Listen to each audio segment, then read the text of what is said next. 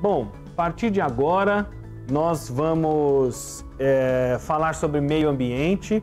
Grupo né, de pessoas, um grupo de instituições se reúnem e se unem para lançamento de uma ecobarreira no rio Meia Ponte. E para a gente entender um pouco mais sobre esse assunto, lembrando que o conteúdo a partir de agora está atrelado aos 17 Objetivos de Desenvolvimento Sustentável da ONU. Nós estamos falando do ODS 14. O ODS 14 é a proteção na vida na água. Vamos proteger a vida na água. ODS, o selo aparecendo aqui, aparecendo aqui para você já, para você que está acompanhando a imagem. O, o selo 14 é um dos 17 objetivos da Agenda 2030 e por isso e ele vai pautar e organizar a nossa, o nosso próximo tema aqui na nossa programação. E com cerca de uma tonelada de resíduos sólidos chegando às suas águas diariamente, segundo dados da Secretaria de Meio Ambiente e Desenvolvimento Sustentável de Goiás, a SEMAD, o rio Meia Ponte agoniza com o lixo, principalmente no período chuvoso. Preocupados com esta realidade, o professor e ambientalista Márcio Manuel Ferreira idealizou o projeto Uma Ecobarreira com o objetivo principal de remover todo o resíduo flutuante e doar 100% do que for recolhido para as cooperativas de recicladores. E para falar sobre esse tema, nós vamos receber a partir de agora o Denis Freitas, jornalista aqui do Sistema Sagres, e o professor Márcio Manuel, professor e ambientalista. Primeiro, seja muito bem-vindo, professor Márcio. Muito obrigado, muito obrigado você, muito obrigado, Sagres, convite. Obrigado também a você, Denis. Seja muito bem-vindo. Opa, boa tarde, Vinícius Tôndolo. Boa tarde, professor. É um prazer. Obrigado, querido. Bom, professor, queria que o senhor explicasse, antes da gente falar sobre o evento que foi realizado ontem aqui na, em Goiânia, na região metropolitana, eu queria que o senhor falasse um pouco sobre essa ideia, né? Como é que o senhor organizou essa ideia? Como é que ela pode ser uma solução com relação à quantidade de resíduos sólidos que a gente encontra dentro dos nossos rios, principalmente aqui na região metropolitana da capital? Ô, ô Tôndolo, essa ideia ela surge há mais ou menos uns 10 anos, a partir do momento que eu vi algumas ecobarreiras na Baía da Guanabara, e elas lá deram certo, deram super certo. E a partir daí eu, eu fiquei alimentando isso já em meados de 2000, né, dos anos 90 para 2000, então tem mais de uma década. E eu vi que deu certo, eu fiquei alimentando e pensando na probabilidade de trazer isso para Goiás e a questão do Meia Ponte, a escolha do Meia Ponte, é exatamente pelo fato de eu moro no Novo Mundo, eu moro a menos de dois quilômetros do, do, ponto que nós instalamos a Eco Barreira. Eu, quando eu era menino, eu pescava no Meia Ponte. É, o Meia Ponte faz parte da minha adolescência, faz parte da minha juventude. E é, esse está tentando passar aí de óculos escuros sou eu, é o primeiro aí de camisa verde. Ah. Então, então eu, eu, ao longo desse tempo, eu comecei a ficar indignado com a maneira em que o Minha Ponte era tratado, tanto por governos do município, do estado e pela, e pela população também. Porque, infelizmente, as pessoas acham que a, o grande o grande ou os grandes culpados são os governos é, estadual e municipal e eles acabam não fazendo a sua parte. Então a população tem que fazer a sua parte. Diante disso, começou a alimentar então em mim uma esperança de tornar realidade isso aí em rios goianos. E eu escolhi a bacia do Meia Ponte, exatamente por estar perto aqui de mim. É um rio que nós temos uma, uma, um grande respeito por ele, ele que nasce lá em Itaúsu, e após deslocar 472 quilômetros de água no Paranaíba, só que não tem nenhum tipo de respeito. E apesar de não ter nenhum tipo de respeito, é parte da sua água vai para o abastecimento de Goiânia, porque o abastecimento de água de Goiânia ou é pelo sistema Ponte ou pelo sistema Jornete.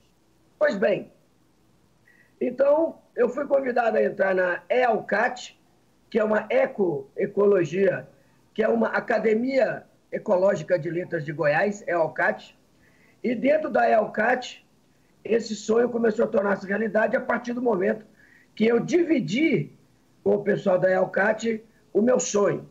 E aí passamos a ter uma, uma ajuda de instituições, de empresas e de pessoas.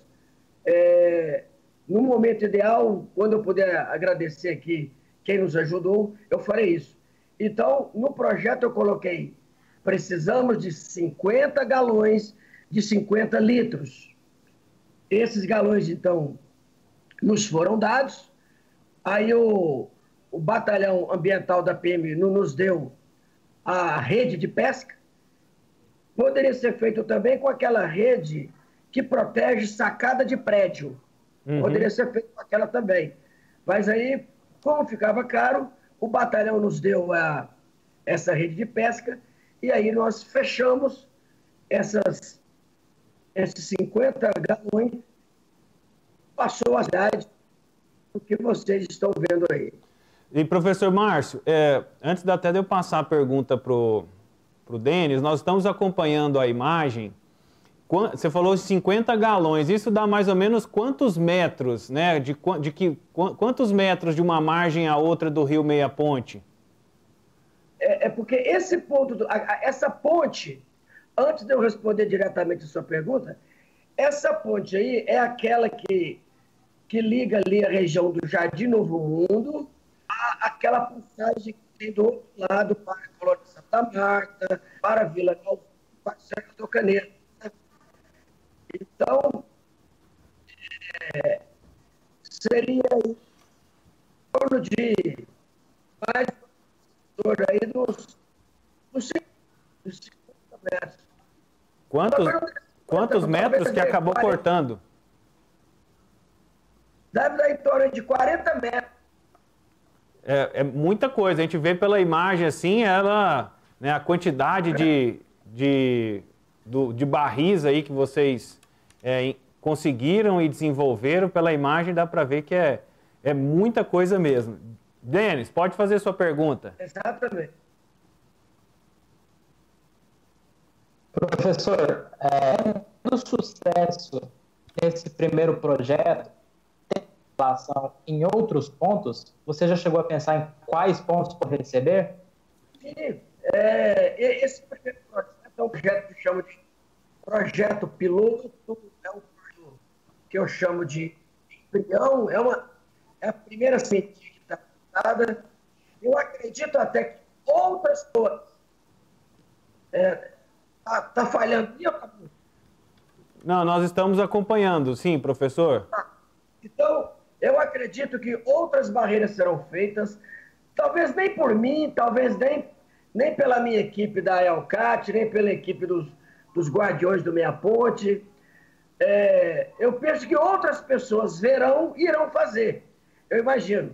O nosso próximo projeto agora, de lançamento, é no João Leite. Então a tendência é que façamos isso ao longo dos 89 afluentes do Meia Ponte a partir de Goiânia, porque quando o Meia Ponte nasce lá em Itaúsu, lá a mil metros de altitude, né? De lá até mais ou menos uns 200 quilômetros, eles não pegam muita sujeira. Ele começa a pegar muita sujeira quando vai chegando perto da capital. Aí que vai pegando. Então, da, aonde nasce, nós chamamos de montante, lá na região de Itaúsu, e aonde o Meia Ponte deságua no Paranaíba, chamamos de jusante. Então eu penso que de Goiânia para a Jusante é que nós vamos instalar mais no Meia Ponte, é, em outros pontos. Podemos também no João Leite, como eu disse, que é o próximo projeto, e também no, no, no Capimpuba, no Cascavel, no Córrego Palmito, no Córrego Água Branca, só que são infinitamente algum desses, algum desses córregos com apenas 5 a 10 galões já seriam suficientes. nossa preocupação? A, é, a preocupação que eu tenho é que como a uma área pública está fora, chácara que passou na imagem, meu medo, a minha a nossa preocupação é que à noite, quando falar, roupa, areia, ou nossos galões. Gente, lá nós não temos base de segurança, nós não nenhum tipo de segurança. Outra, após essas paralisações, faz parte do nosso projeto abrir para visitação de escolas públicas e de escolas particulares. Escolas vão conosco e eles vão visitar essa feira. Outro detalhe, ontem plantamos algumas mudas de árvores, árvores nativas, lá nas margens, então faz parte do projeto. E a outra preocupação é que do lado de lá onde nós estamos, estão construindo um condomínio fechado. E a mata ciliar, mata galeria. O que é a mata ciliar? Os cílios protegem os olhos e a mata ciliar protege os rios. E lado de lá, no rio, estão construindo um condomínio fechado. Isso nos preocupa, viu? Nos preocupa. Entendi. É, professor, a gente teve um, um, corte agora nessa reta final aí da sua fala, na hora do momento que você estava falando sobre as matas ciliares. Ah, tá. Né? Então. ah. Os cílios protegem os olhos, os cílios protegem os olhos. Daí o nome mata ciliar. Só estou explicando por que se chama mata ciliar. Os cílios protegem os olhos e a mata ciliar protege os rios. E pela lei, deveria deixar pelo menos 50 metros de, de área verde, de mata nativa, de mata natural, do lado direito e do lado esquerdo. E isso não está acontecendo ao longo do Minha Ponte. E professor, o, dentro do objetivo, dentro do trabalho de vocês, qual que é, quais são os próximos passos, né, além na, com relação à barreira, né? O que, quanto, a quantidade de material que vocês estão pensando e estimando é, coletar é, e como, é, quais são os impactos que a gente já vai poder observar com relação a essa, essa primeira barreira? É, felizmente ali ao lado, a 200 metros, já, já está a cooperativa que vai é, recolher o lixo lá todos os dias, né? É, essa pergunta pode ser dividida em dois momentos.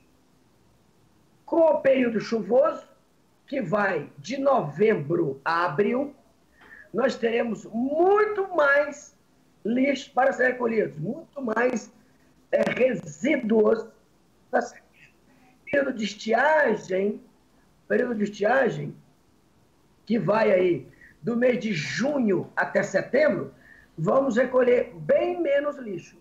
Então eu acredito que nos dias áureos, nos dias de muita chuva, de maior quantidade de chuva em que o nível do rio, a lâmina d'água do rio vai, vai subir, nós estamos fazendo uma previsão aí de mais de 300 quilos dia isso aí de todo o material. Porque o material pesado, o todo, ele. Desculpa, o material molhado, ele pesa muito. Então, vai ter um. É claro que depois que secar, esse número cai bastante. Mas imagino que em torno de 300 quilos por dia. Hoje eu já entrei em contato lá com a cooperativa, eles vão deixar para colher lá por volta das 17h30, para pegar dura, durante todo o período de tempo, né? até aí o final do crepúsculo vespertino náutico. Ou seja, enquanto tiver sol, eles vão deixar e vão deixar para pegar já quase ali próximo às 18 horas. Denis. Oi. Então, professor, na, na última resposta você citou que vai ter visitações é, no certo período. Eu acredito que seja para conscientização de pessoas da importância da barreira. É, me explica como fazê-las entender por que a barreira é importante e como o impacto do lixo nos rios é prejudicial para nós. É, é, eu não entendi o final, é prejudicial. Isso. Como fazendeiro, qual o impacto do lixo no rio é prejudicial para a gente? Ah, tá. É, ontem, lá, por ocasião do lançamento da, da Eco Barreira, nós distribuímos lá um, alguns panfletos para algumas comunidades, porque por ocasião do lançamento nós convidamos algumas lideranças de bairros, pessoas ligadas ao meio ambiente, e, e como também, além da TV Sagres, teve lá outros canais de televisão também, é, que já foi divulgado sobre acesso a isso aí. Como é a sua pergunta? Fazer as pessoas entenderem a necessidade. Ora, eu penso que a leitura ela poderia dar um incentivo para a população. A população ela, ela consegue entender e aderir às campanhas de acordo com alguns incentivos. Por exemplo, quando a prefeitura foi asfaltar os bairros lá nos anos 80 para 90, qual foi o incentivo? Cada morador que construísse uma calçada teria desconto no IPTU. Então, eu penso que, igual a faz, leva o seu, leva o seu óleo, o, o óleo queimado, em litros, que vai ter abatimento na conta de energia.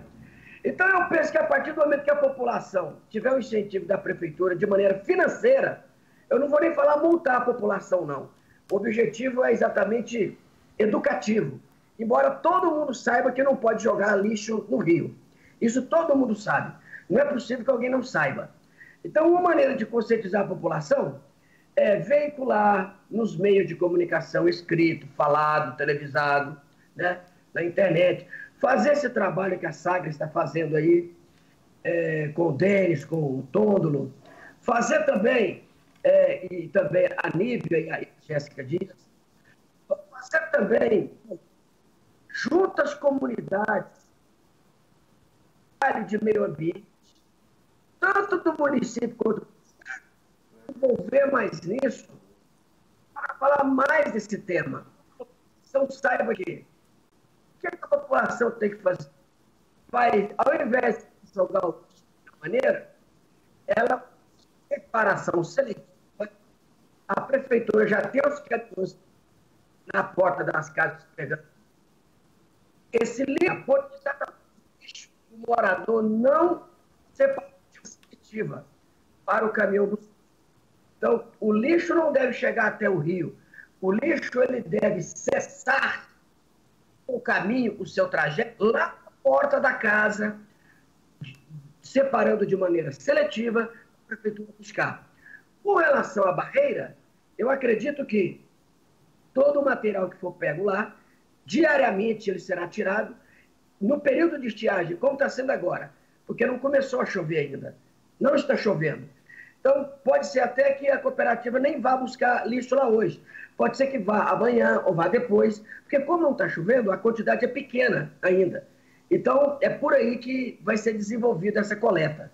Professor Márcio Manuel, muito obrigado pela participação. O que nos cabe, como o senhor bem disse, é, de divulgar iniciativas como essa, de apoiar e de incentivar que possam, as pessoas que não puderem participar, que elas possam apoiar instituições que desenvolvam esse tipo de trabalho. Então, meus parabéns e eu aguardo mais notícias aí de resultados, dos impactos, da quantidade de material retirado, para a gente ir mostrando a importância da ecobarreira, combinado?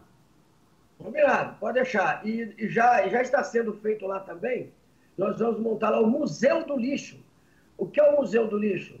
É, algumas coisas é, estranhas, algumas coisas intrigantes que vão para o Rio serão retiradas e vão compor o Museu do Lixo. Nós já temos já algumas coisas lá, no Museu do Lixo. Lá, tipo o quê? Da... Tipo o quê? Uma bicicleta elétrica Lá tem uma bicicleta elétrica antiga, muito interessante, inclusive. Algumas pessoas já olharam lá e queriam pegar, queriam comprar lá com, com o pessoal do, do dono, é, do dono lá da, da, da chácara, né? Essa chácara lá é a chácara da Macena Tecnologia Energia Solar. Então, lá tem uma bicicleta elétrica muito interessante que foi encontrada no Rio e já fui retirada lá, inclusive. Muito obrigado, professor Manuel, professor ambientalista, é, falando um pouco sobre esse evento que aconteceu ontem, né, aconteceu no domingo, né, da, da implantação das ecobarreiras. Muito obrigado você também, Denis. Opa, eu que agradeço. Boa tarde, professor. Boa tarde, Vinícius. Boa tarde para o pessoal de casa. Até uma próxima. Até a próxima, então. Até, amanhã, até uma próxima, Denis. Até uma próxima oportunidade ao professor Manuel. O tema vale, é importante e nos é sensível, né? Nós temos que cuidar do meio ambiente, do nosso ambiente, da nossa casa.